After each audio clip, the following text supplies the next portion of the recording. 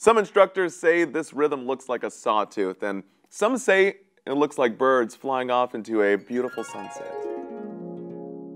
I say it looks like birds in the upstairs of the heart, the atria. Who let the birds out? Chirp, chirp, chirp. We're talking about atrial flutter, similar to AFib, but the heart's electrical signals spread through the atria in a faster and regular rhythm, instead of irregular like found in VFib. So this rhythmic sawtooth flutter appears on the EKG as sequence mounds of atrial disruption. So the simplest way to remember a flutter is to say, I saw the birds fluttering. Birds in the adduct atria that keep on flapping and fluttering their wings in sequence together in unison. So what's really going on in the body? Well, as you guys know, the heart has one main pacemaker and two backup pacemakers. In this case, our main pacemaker, the SA node, lost control as boss pacemaker.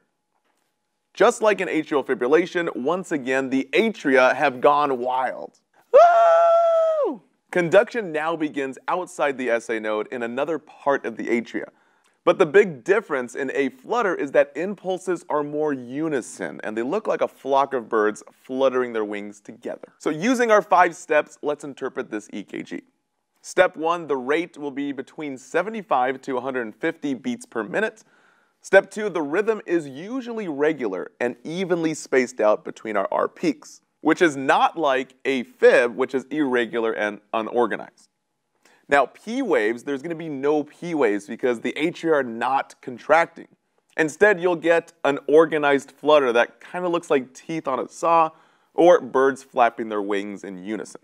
Step four, our PR interval, there's going to be none because the atria are not contracting. And step five, the QRS, usually normal and upright. All right, guys, thanks for watching only one part in our full video here at simplenursing.com. If you guys click the link right here, you can get access to our full course as well as our new quiz bank, which is really nifty. And also, guys, don't forget to subscribe to our YouTube channel right here. Last, but definitely not least, a big thank you to our script team and nursing family who helped us put together all these nifty videos.